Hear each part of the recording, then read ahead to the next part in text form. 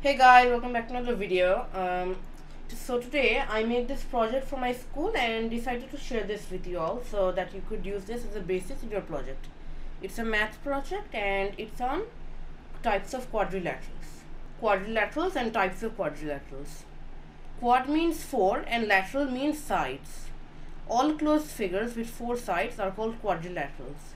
The sides of the quadrilateral may be equal, unequal, parallel or irregular which forms the basis of varying shapes in these four-sided shapes. Whatever may be the external shape, every quadrilateral has four sides, four vertices and with all its angles adding up to be 360 degrees.